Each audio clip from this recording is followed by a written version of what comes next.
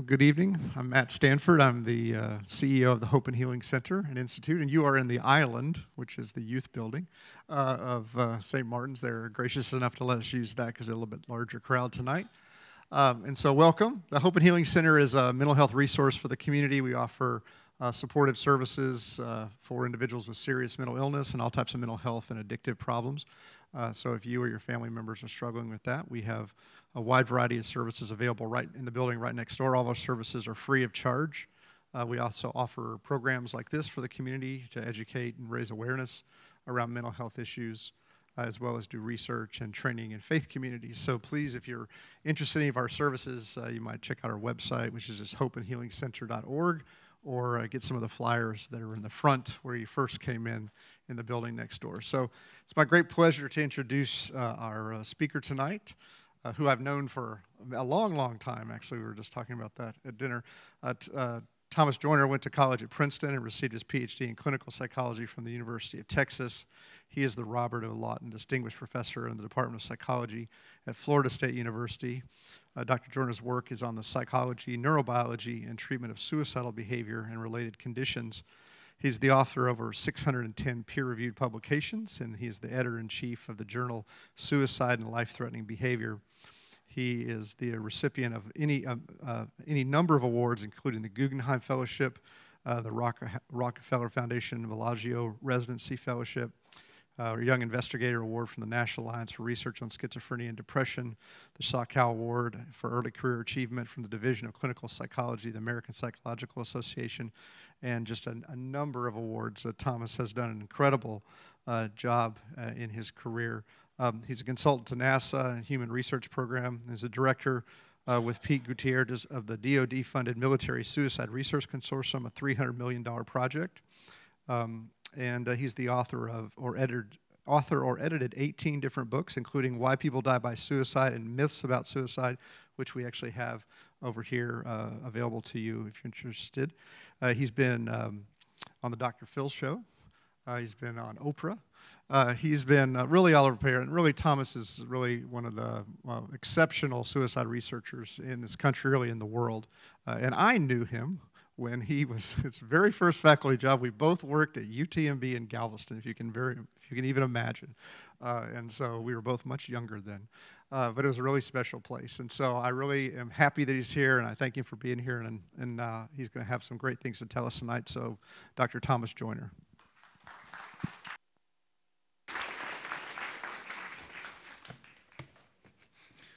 Hey, good evening. Thanks, uh, thanks, Matt, for that um, generous, kind introduction. Um, none of that will probably stick with you, except maybe Dr. Phil. That's part of the people that sticks. Um, that's true. I did go on that show. It's fun. Um, tonight, I'm going to walk you through some concepts that my, my colleagues and I have developed, trying to answer the question implied by the title. Namely, why does this happen to people? Why does it destroy their lives and bereave their family members? I've got a partial answer, I think, at least, to that vexing question. And I think it's a kind of interesting answer in general and also of use to those of you who are mental health professionals in day to day mental health practice. So we'll get to all that shortly. A couple preliminary things email right there on the um, slide. Um, if you need to follow up, feel free. Uh, I'm going to show some videos tonight. Nobody's going to get hurt in these clips, uh, much less killed. But some of them are pretty dramatic, um, you know, germane to the topic. And so I just want you to know that that's in the presentation. Mostly they're, they're pretty vivid. They, they illustrate vividly a lot of the ideas that I'm going to be sharing with you this evening. Um, also wanted to say that um, know, if you have a question for me, I mean, one, resource is my email address, but another way to do it is uh, raise your hand. I'll get I'll get to you. I'd be happy to take questions, and, and then we're going to have a little bit a little bit of time afterwards to, for more questions. I invite that. Uh, in fact, that's better for me um, if I don't have to just talk straight through. I can do that. I'm a college professor. I do that a lot, but um, more fun for all of us, I think. There's a little back and forth. you hear me okay, by the way? There's a, it's good in the back. Is it okay? Good. And then um, one final note um, for now, and uh, it's that many of you yourselves, I, I, I take it, I would assume, have been bereaved by suicide in your own families. And I just want to um, share a note of sympathy. Um, it so happens that I'm in that same boat too, runs in my family. So I do get it from that angle, um, very much so. That's not really going to be the focus that I'm taking uh, tonight, but that's always with me, and I think you'll, I hope you'll see that it affects the, the, the thinking and the presentation. All right. With that, I'm going to begin right off the bat by getting out of this PowerPoint slide, or file rather, and then showing you a video. Getting to the point where. Now I'm going to pause it for a moment. This is man. I'm only, nobody's going to get hurt here, much less killed. But he's going to be talking into the camera. He's holding a, a video camera.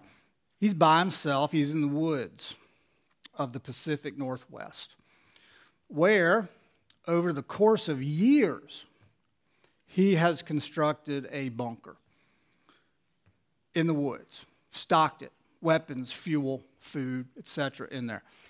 Now, what he's contemplating, as you might have already gathered, it's kind of given away a little bit, uh, is a murder suicide. Now, we're not really focusing on that tonight, but some of the principles are similar between murder suicide and suicide per se, which we are focusing on tonight suicide per se.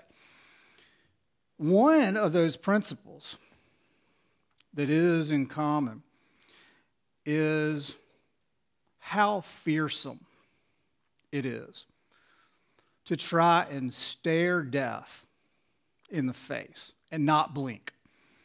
That's what murder suicide requires, and so does suicide per se. Say whatever else you might want to about it, it requires an unblinking, unflinching ability to stare down death. As we'll see, many, many people who very genuinely want to kill themselves can't, don't. Because at the last minute, at the last instant, something kicks in and stops them. I'm going to argue that that something is a very deep self preservation instinct. Further, I'm going to argue that in order to overcome that very powerful force, people have to go through a process, and it's a very difficult process. And most people don't go through it. Therefore, most people don't take their own lives, but tragically, as we know, some do. And part of that story is a learned fearlessness, unblinkingness in the face of death. Think about that idea as you notice this fellow talking for 30 seconds or so about what he's contemplating. Make some observations about him, too. Just trying to live and pay bills and live as a civilian and go to work. I just it just freaks me out. It's actually more comfortable for me to think about living out here um, robbing banks, pharmacies, just taking what I want for as long as I can. At least it'll be exciting. It won't be boring. And I don't have to worry about Lynette or Kayleen. And everything will be taken care of. It'll just be me. I'll pause it there for a second. Notice anything about him? Got it. Got it. I'll put that in the microphone in case you didn't hear the answer. He's not blinking. I'm going to play it again in case you missed it. I missed it too the first few times I saw it, but he's not blinking. I'll play it again in a, second. You'll see it. Let's put that to the side for a moment. Real important. We're going to get back to it. Also, pretty unemotional, isn't he? He's kind of wooden and flat. That's peculiar when you're talking about something as momentous as killing your wife and daughter, which he does plan to do, and which he in fact does, and then killing himself. Unemotional in the face of that, that's interesting. And uh, literally unblinking. If you didn't catch it, let me just replay at least part of that. And just count, just simply simply count how many times he blinks. I'm getting to the point where just trying to live and pay bills and live as a civilian and go to work. I just it just freaks me out. It's actually more comfortable for me to think about living out here, um, robbing banks, pharmacies, just taking what I want for as long as I can. At least it'll be exciting. Won't be boring. And I don't have to worry about Lynette or Kayleen. So, can you see the little number here, right there? It's 30 seconds. How many blinks did you, did you count? You can make a case, did you say half? You can make a case for a, one, like, partial. Really, the answer is zero. Maybe a half. That's highly peculiar. The usual blink rate in folk is once every three to four seconds. He didn't blink at all in 30 seconds. Now, this could be due to any number of things. There are drugs that affect your blink rate. Pres- prescribed drugs, some do, and illicit drugs, some do. So it could be that. It could be any number of things. We've looked into those alternative views and settled on this story, which is anytime a human is about to do anything that's momentous, requires effortful concentration, requires a staring down of something fearsome, daunting. Anytime a human tries anything like that, this is how their blink rate is affected. Doesn't matter what it is. It can be something appalling, like a murder suicide. It can be something like a concert pianist in whatever, Carnegie Hall. Something like that. That's momentous too. That requires effortful concentration too, and that, that'll affect your blink rate. One other thing here he's not really talking yet about his own death. He's ambivalent. He's thinking, eh, maybe I can play it out here in the woods, rob banks, rob pharmacies, rob stores. Yet he is also thinking about his own death. And that's in fact what happens within hours of this. Isn't that interesting? He's not very ambivalent about the terrible murders of his wife and daughter. he is ambivalent about his own death. That's revealing of a more general principle. Killing is hard. We're not wired for it. Killing yourself might be even harder still, because not only does it develop, or sorry, does it require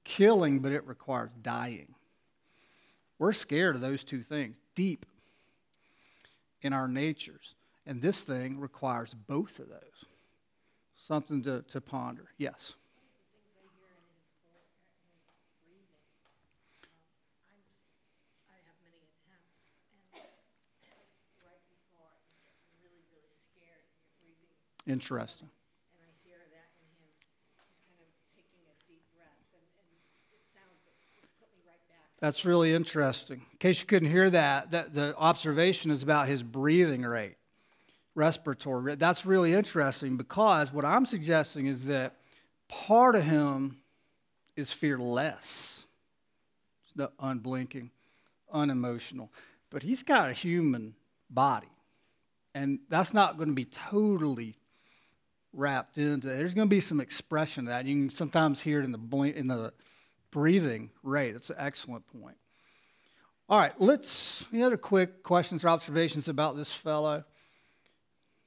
Good. All right, let's go on. Let me pivot back to this for a moment, the slide series. And let me introduce you to this model. This is really the main idea that I want to impart to you today. Is, is this set of ideas conveyed right here? Because this really is a visual summary of, of all that I want to convey to you. This, that's a little bit simplified, but it's not a bad summary, visual summary of the ideas. Now, we'll put a little more detail on all this for sure. But for starters, let me focus your attention to the right side of this image, where you got, well, what it says there is those who are capable of suicide. Capable, that's a pretty important word in, in this model. That's the part I, I was just referring to, where you got to be capable of doing something that's very difficult to do. And that capacity, not everyone has it. So that, that's the idea that a certain kind of fearlessness of physical pain, ordeal, harm, death itself, fearlessness of those things, that's a necessary thing for people to progress on to death by suicide necessary but not sufficient. Got to have more. If you just have that, let's do something for a second. Focus your mind for a second just on the red part. Forget about all the rest of it for a moment. Just the red part. And forget that we're here to talk about suicide prevention for a moment. Just the red part. Fearless of physical ordeal. Can you think of some walks of life where that capacity, that characteristic would be helpful? Military, firefighter, law enforcement, for example. Surgeon. I wouldn't want my surgeon afraid of blood, you know, scared of bodily or, you know, you can't have a surgeon like that. Now, let's put it back in this context.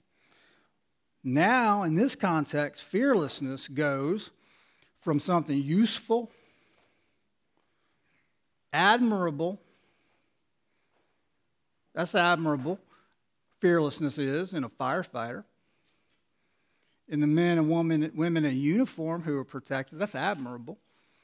In this context, though, it gets shifted to something that's not really, I don't really think of it as admirable anymore. I think of it as sad and savage, and it might be deadly. Context matters. What shifts the context? It's the things on the left of the image. So let's talk about those for, an inst- for a moment. Um, let's start with the top. It says perceived burdensomeness there. That's pretty straightforward concept. It really, it just means here's the idea. You think that if you're going through this, you will think that your death will be worth more than your life on balance. That's what you're thinking. Perceived, that's, that word's important here. Because the argument here is not that let's, let's take my own family members who died by suicide. I don't think they were a burden. On the contrary, they thought they were a burden. That's, that's the difference. And they died based on a misperception. That's tragic. But they didn't know that. That's tragic too. So that's the idea. My death will be worth more than my life to other people. But even that's not sufficient according to this view. You need to have a third idea in your mind. And there it's the idea that you're hopelessly cut off from people. You're hopelessly lonely, socially alienated. So let's put all this together. Here's the idea in a nutshell. If you believe that your death will be worth more than your life, if you feel hopelessly alienated, according to this logic, you'll develop the genuine desire for death. However, that's not sufficient. You also need to be fearless enough to act on that desire. Meaning that it's only the people in that small area of overlap that we lose. That little overlap is purposefully pretty small to convey that this tragic form of death, on the one hand, it happens way too frequently. 100 people, more than 100 people, more than 100 of our fellow Americans died today by suicide. That's way too many. On the one hand. On the other hand, more like 3,000, 4,000 of our fellow Americans died from heart disease. 8,000, 10,000 if you throw in cancer today alone. In a relative sense, suicide's rare. Models got to be compatible with the relative rarity of death by suicide, and this model is. I'd like to dwell for a few minutes on common misunderstandings about suicide and how this model contradicts those myths. Let's start with the idea that you might have heard, or heck, I don't know, you might even kind of believe this that suicide is cowardly or that it's weak. That's actually a pretty common attitude in folk. In that connection, ponder the concept on the right side of this image. Can it be simultaneously both about fear, cowardice, weakness, and fearlessness? One of those has got to give. And the evidence suggests that really cowardice doesn't have much to do with it. Weakness doesn't have much to do with it. Never mind that it's very lacking in compassion to put it that way. Never mind that. It's just not true to start with. Contradicts the, the myth. Turn to another one. You might have heard this too. Or, I don't know, some of you might even kind of believe it. Suicide's selfish. Now, here, let's be careful about what the suicidal person felt at the time of their death and what, for example, the bereaved family members feel to this day sometimes. Bereaved family members, including my own self, in the wake of my loved one's death, have the understandable feeling how could he have done that to us? Seems selfish. Totally understandable on the one hand. On the other hand, what does that have to do with what the person, him or herself, was feeling at the time? Maybe nothing. They thought it was the selfless thing to do. Now, that they were wrong, that's for sure.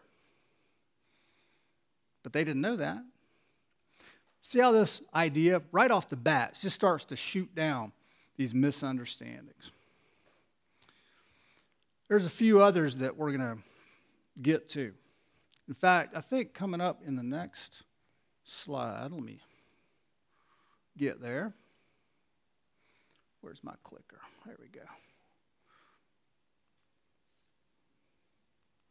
No. That's where I wanted to get to. I'm going to, I'm going to blank that out for a second. Now, this slide has it. We were talking for a moment about myths, misunderstanding. We talked about cowardice, we talked about selfishness. And now I want to turn to a third commonly misunderstood thing, and it's having to do with alcohol, the role of alcohol. Now, to get this in your mind, got to keep two ideas separate. One is, or really it's kind of the same idea, it's just different versions of it. One is a long-term time frame. That's, that's years, month, decades, sometimes years, months before an eventual suicide. Okay, that's one time frame. Another time frame is the minutes and hours. That's different. Let's remember the difference between those two time frames as we talk about this next slide, which basically has to do with how much are people drinking typically in the minutes and hours before death? That's a question. The answer may be surprising to you. Not much. Not much.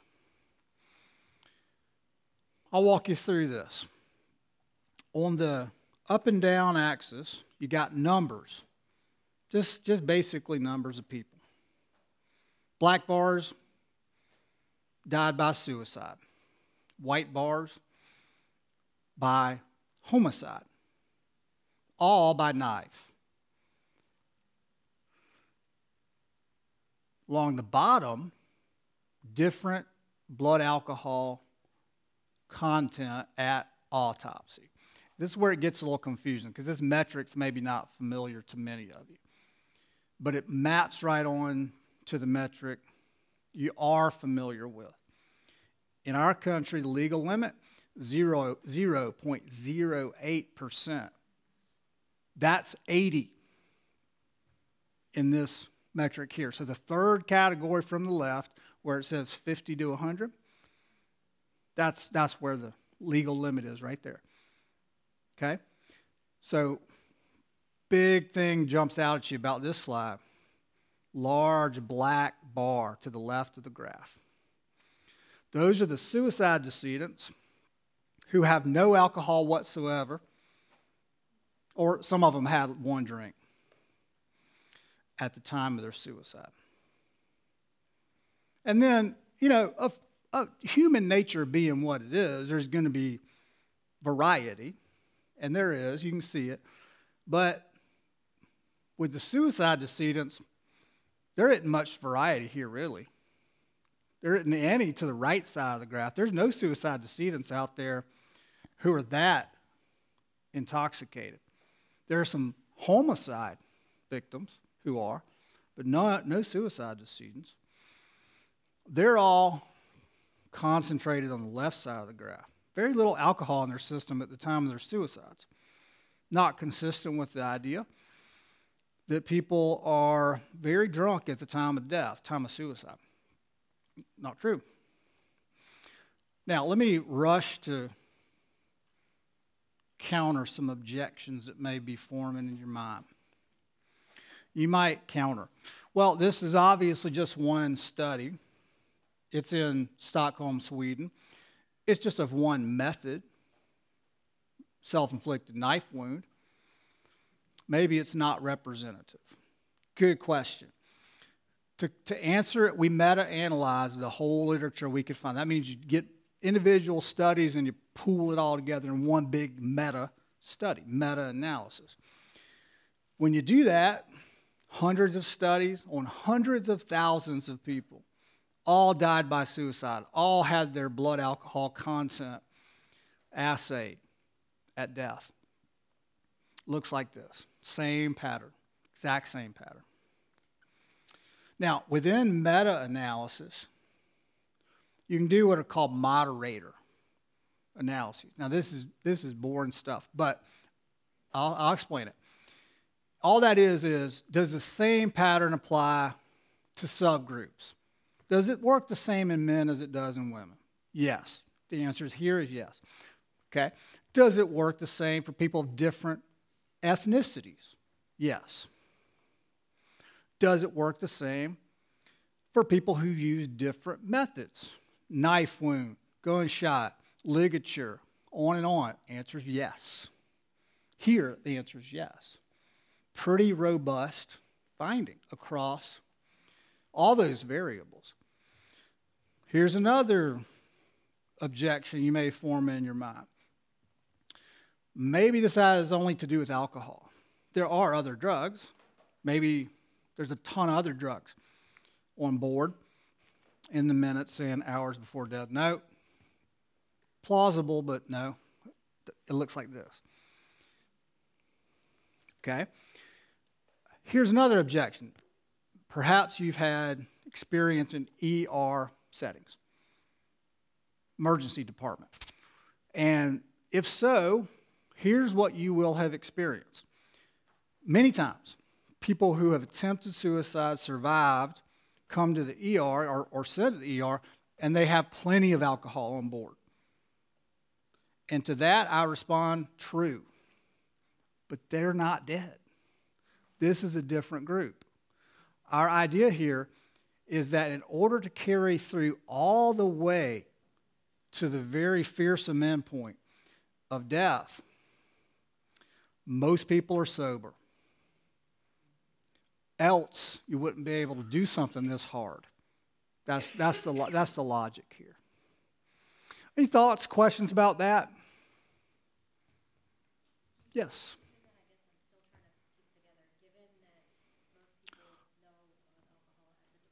Yeah.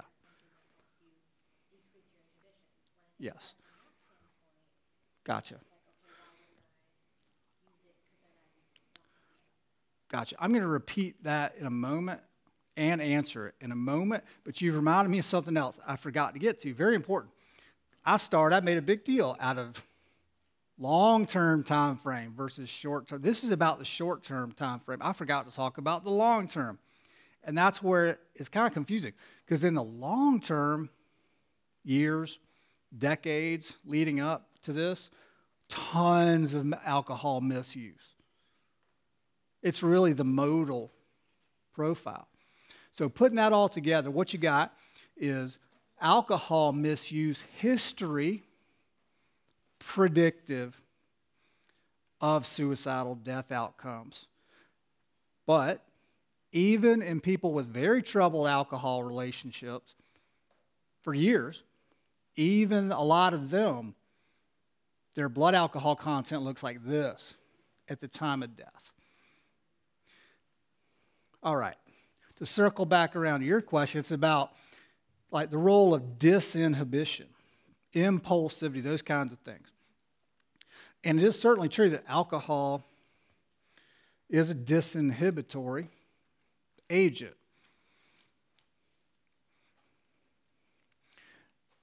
That's interesting to ponder because there have been ideas on suicide for really centuries, certainly decades, chalking suicide up to a kind of impulse, kind of a all of a sudden sort of thing.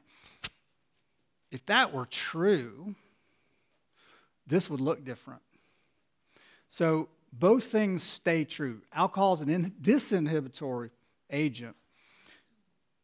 And yet, what I'm sort of suggesting is that in order to do this, death, you can't be disinhibited. You got to be focused. You got to be able to stare something down that's difficult and fearsome. All right.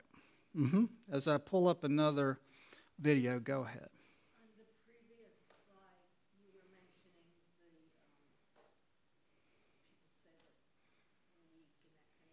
Yeah.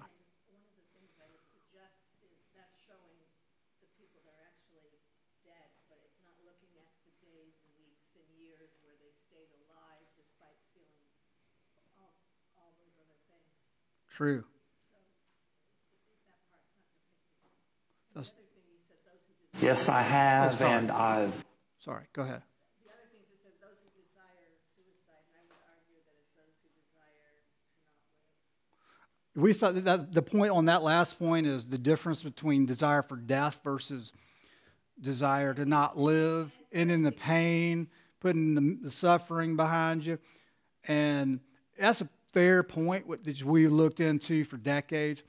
It actually, both actually be are, are involved for sure. You'd be surprised though if if you look into that literature over the course of decades, the one trumps the other. The desire for death that trumps even what you're talking about, which is also involved. It's true, both are involved. All right, let's look at this. This is just an interview. There's nobody going to get hurt, but he's talking about. Wait a minute, get that off of there. Where, where'd that video go? Thank you. I've been doing this for 25 years. I still can't get it right. All right, this guy's going to be talking about non suicidal self injury, which is, you know, in the neighborhood of suicidal behavior, but it's different because the motive is not to die. That's why it's called non suicidal self injury, but it's still real relevant because it's a gateway, so to speak. If you do a lot of what he's going to be talking about, non suicidal self injury, you'll incidentally teach your body a lesson of fearlessness. And then down the road, should you develop genuine desire to die, well, your body already knows the fearlessness that it's required um, to do that. So let's just listen to some of what he says about that. I've cut myself uh, a lot, and I've ingested things like bed hooks. Uh, one time, a cassette Walkman down at Lucasville, breaking it up and swallowing it piece by piece. And, uh, you know, bed, like I said, bed hooks, razor blades, ink pens, pencils, toothbrushes.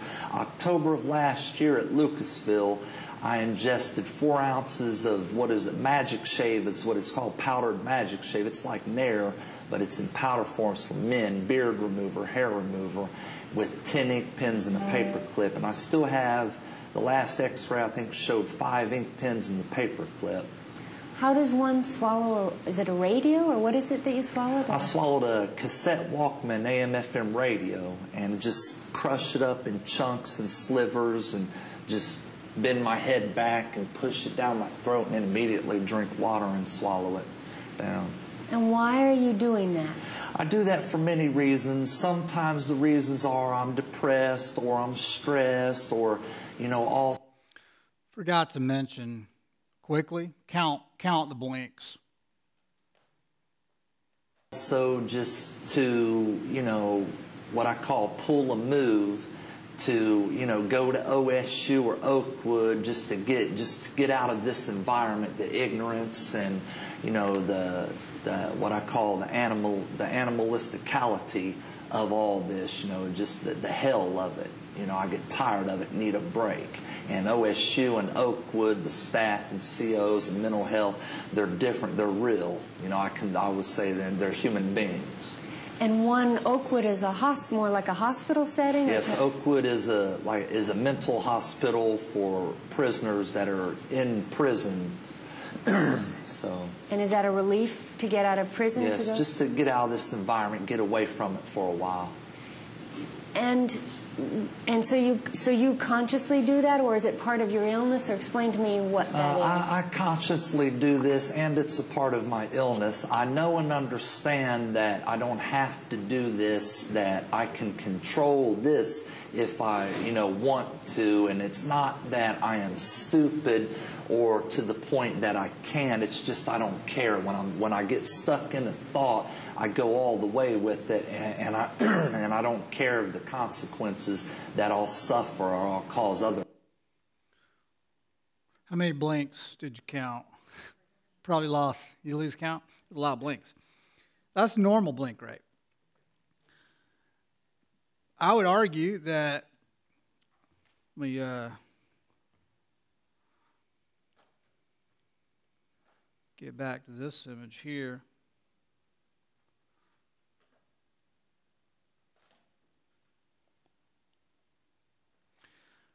This that guy we just heard about, the, let, us focus on the on the reddish part. Does he have that characteristic? Is he fearless about physical ordeal? I would suggest he's an actually he's actually an exemplar of that. But does he want to die? Not at the time. Thus, he's got a normal blink rate. Death's not imminent for him. And so he's got nothing to be daunted by. Death's not coming in minutes or hours for him, normal blink rate. But he's got that capacity. And should he develop, for whatever reason, the, the, the, the things on the left, then we got a dangerous individual there who both desires and clearly has the capacity for death by suicide. He's also a little unemotional about some things that are really provocative.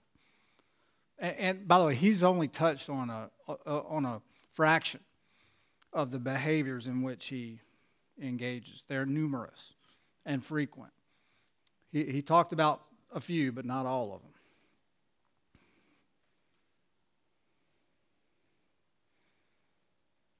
All right. I'll talk for about this for a moment, timely, because tomorrow the Winter Olympics start. Hopefully, we get another one of these. Not likely, but hopefully.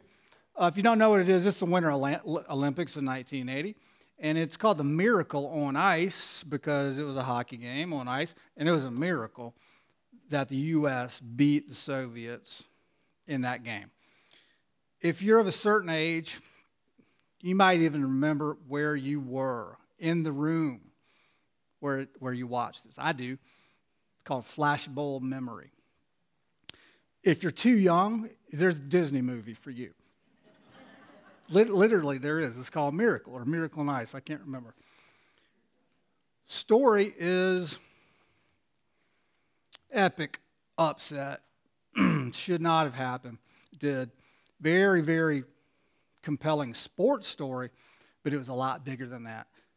Soviets, at this time, Soviets, were just into Afghanistan. Our hostages still in Iran. This is a big deal. And so we reasoned might this date, it was February 22nd of 1980, might that particular February 22nd be special? When the country, because of the miracle on ice, rallied together, pulled together. And if so, we reasoned, suicide rates should go down. Because belongingness, when it's good, decreases suicide rates. When it's bad and when people don't feel like they belong, increases suicide rates. And as a matter of fact, that is what happened. February 22nd of 1980 is the low point, historical low point for suicides in the United States on a February 22nd in recorded U.S. history. Same setup here, kind of on the on the up and down axis. You got numbers, just numbers in a, in, in a given date. Along the bottom here, though, you got different years. This is a February 22nd of years in the 70s and 80s. And right there in the middle is a low point date of the miracle on ice. Any number of things now could be driving something like that. But now we've got converging evidence from multiple fields, including different sporting events, including different other kinds of events that rally the country together for different reasons. 9 11, for example. Great example. Very different than this. And yet, suicide rates went down even farther on 9 11. Why? It's not a celebration. 9 11 wasn't. This was, but 9 11 wasn't. the commonality, country rally together. Suppresses suicide rates. Togetherness suppresses suicide rates. Disconnection, loneliness, alienation spurs suicide. Let's talk about a key clinical implication of this idea. It's that small doses, or big doses, but even small doses of caring go a long way, disproportionately go a long way in terms of their health effects, their mental health effects, and their physical health effects. Caring, it sounds cliche, sounds corny maybe, Pollyannish to you. Okay. Not relevant though, as compared to what the data say, and the data say caring, small dose of it, big effects on things like suicide. We know that from things like this, but we know it from a literature that's called the Caring Letters literature. What's that? Original study in the 70s, very vulnerable people in the mental health system in California, in this case, randomized to two groups. One, follow up as usual, the other, got a caring letter in the mail every so often. That's the only intervention. A caring letter. That's it. That's the only difference between the two groups. That's a small dose of caring. Mattered. That group who got the letter had lower death rates, suicide death rates, than the group who was treated just the same, except for the letter. That's the only thing different. That was a caring letter. Fast forward to 2018. Matt mentioned that I direct the DoD's Military Suicide Research Consortium. One of the first studies we funded was to see if caring letters work, but that's 20th century letter. This is the 21st century. Caring texts was that study. In fact, the name of the study originally was the Caring Texts Study. That didn't sound right to our military partners. They changed the name to the Military Continuity Project.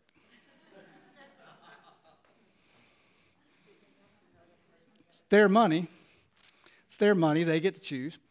And, and don't get me wrong, I, I could not be more honored and more pleased to have anything at all to do with the DoD.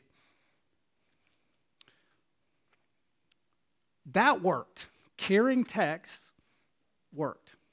Caring letters worked. Small doses of caring work. If you have a kind of mindset, actually, I have the same mindset of this sounds kind of corny, sounds kind of cliche. Works. That's not corny. what works in trials like that, that's not corny. That's effective. I think I heard somebody mention doesn't matter if you know who the letter's coming from? No. The original investigators thought that, so they hand wrote those letters. Every one of them, they hand wrote it. Subsequent studies, though, automated the whole thing.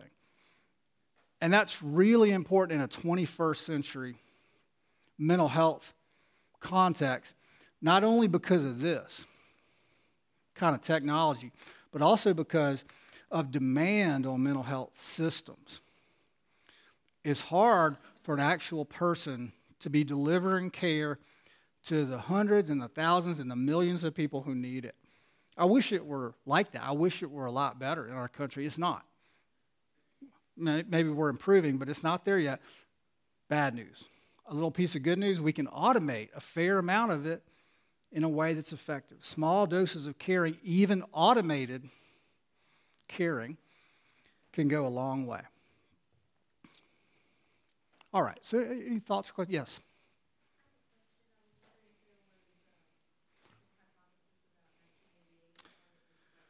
Yes, thank you for reminding me. Um, those are the peaks on this graph. There are a couple of them, pretty pronounced, aren't they? Um, one is an 88 on this graph, February 22nd, 88. Um, there's another there. I think it's 77. Care to guess? Sorry? Stock market crash in October of 87. So that maybe and economic things can matter for, for sure. Here's the, this is a little bit of a trick question because what this is probably is a day of the week effect. Monday and Tuesday, week in and week out, Monday, Tuesday, suicide peak weekly. Trails off Wednesday, Thursday, Friday, Saturday, Sunday. Monday and Tuesday goes back up. Trails off rest of the week. Sure enough, these are those peaks are happening on Mondays and Tuesdays. It's probably a day of the week. It could be economic, it could be a lot of things. And if it were just this one study, you wouldn't necessarily put too much stock in it, but it's not just this. It's now hundreds. And it's all that combined with the caring letters, all that combined with things like caring text. It's really, it's a robust thing and hopeful because a small deliverable dose of something that a lot of us can provide can go a long way. Other thoughts or questions? Yes, sir.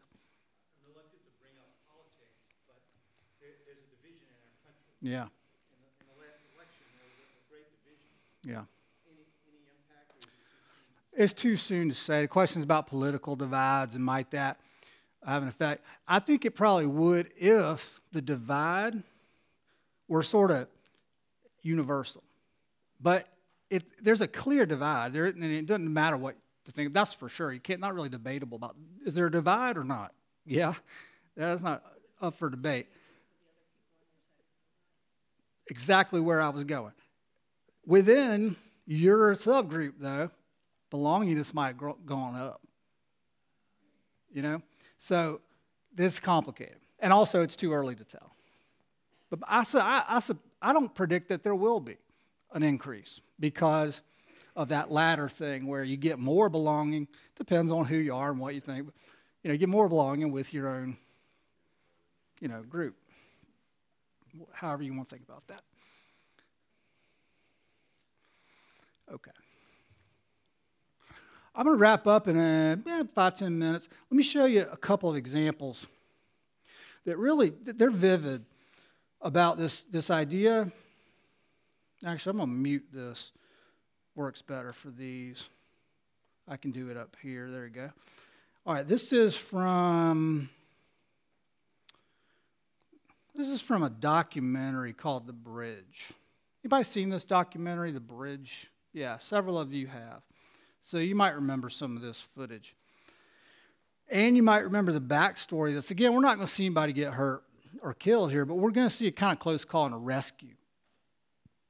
And backstory of this film is that the documentary filmmakers, they were at, in San Francisco at the Golden Gate, set up hundreds of yards away, zoom lensing, just, just captured hours and hours of endless footage of people walking back and forth across Golden Gate.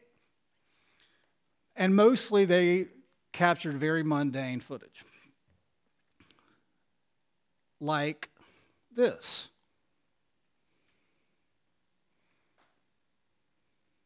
That's what they saw. What do you make of that? Or this? At risk? How do you know? That's their dilemma. Except for this guy who's there to indulge his hobby, probably not at risk. And there's some of the photos he took. I'm pausing it again. They didn't know. But what they quickly learned is that the people that they thought were at risk were not. They were fine, mostly. And the ones who, within a minute, had plunged to their death, they didn't know. They didn't suspect anything. You can't just eyeball it like this. They quickly learn that idea. We're going to see a particular instance.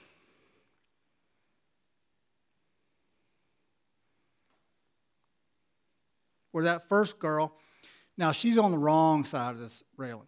Very dangerous. People almost always die from this spot if they jump. Not always, but almost 99% of the time they die. Very dangerous spot. Remember that question I asked you about the prisoner, the guy who was interviewed in prison? Does he have the capacity? Is he fearless? And the answer is yeah, he does. Does she? On the one hand, yeah, a little bit at least. She's on the wrong side of a very, very scary prospect. On the other hand, let's watch what happens as she's rescued. Her rescuer is the photographer. And let's track a couple of parameters. Does she fight for death? How hard? And does she help toward life, towards rescue? Think about those questions. Nobody gets hurt here, much less killed.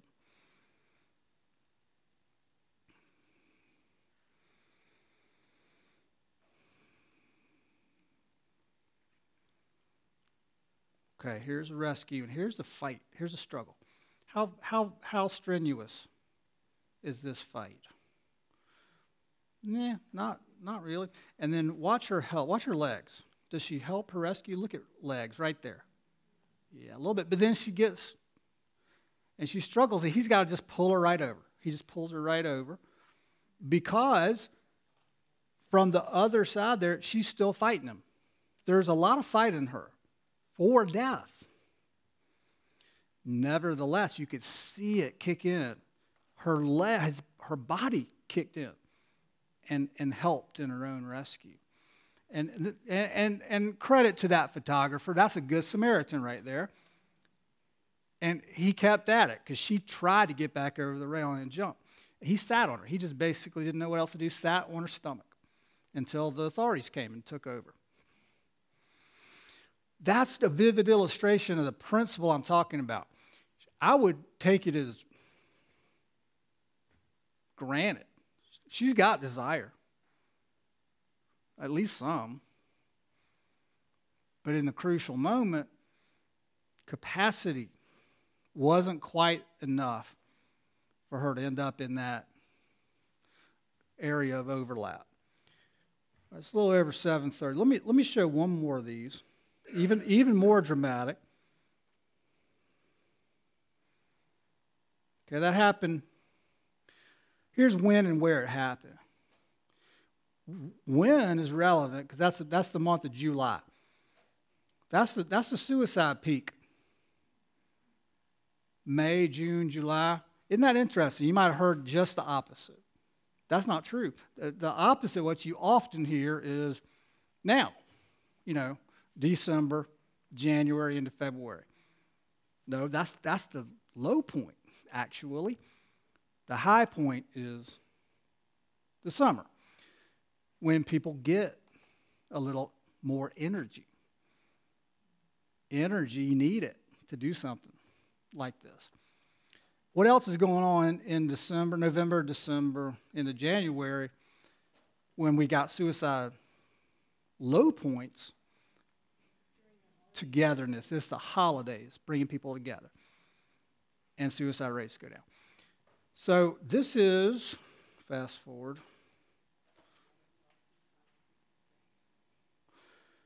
This requires a little bit of a setup. And then I'm going to wrap up and take some questions. In this car is Ms. Tina Zahn. And Ms. Zahn wrote a a memoir. It's actually a pretty gripping memoir. It's called Why I Jumped. Revealing. I learned a lot from it. Ms. Zahn, promoting her book, got this footage from law enforcement, posted it to her website. It's from her website. Ms. Zahn is in that car. She had been at home minutes previously in the midst of a terrible depressive episode. About her 25th discrete episode of major depressive disorder in her relatively young life. She's 35 or so at the time. Already 20 discrete episodes, 20 plus. Bad illness. Moreover, in some of her past episodes, fully catatonic. In other words, mute and immobile, both. In this episode, by contrast, edgy, angry, irritable, keyed up, agitated, hadn't been sleeping. When she does sleep a little bit, nightmares. That's a pretty common picture in the days and weeks before death by suicide. She's at home. Family members kind of understand what's going on. In fact, Mazan has said she's thinking about going to this bridge and jumping to her death. Family members lose track for a moment. Sure enough, Ms. Zahn leaps into the car, speeds off. Notice the behavior at home. Death not quite yet imminent. And so she's sped up, speeds away, leaps in the car. At the bridge, death is imminent, and she gets slowed down a little bit. Saves her life. Family members figure it out, call 911. Officers find her, and here's what happens. Very dramatic. Nobody hurt here. Miraculously, much less killed. I'm actually going to stop it in a few seconds and ask, ask you a question. Right here. What have you noticed so far? That's just two seconds. What that, that's that's right. There's two things actually, at least. One is that she pretty deliberately and slowly closes the door. Often, when people are trying to escape from law enforcement, like in a, in a sense she is, she knows that they're behind her. They, they don't close the door, they just run. She did. She's a little slowed down compared to at the house when she ran, sped, leapt, things like that. And that's the other thing. How fast is she walking? I mean, you know, it could be slower, I guess, but it's not a sprint. You know, it's a little slow down.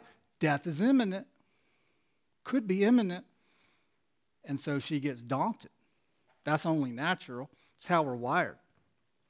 All right, she's going to get daunted even more so because she hesitates at the railing. That hesitation is crucial because she's going to get saved, barely. Jumps, caught in midair, and pulled back up, still fighting.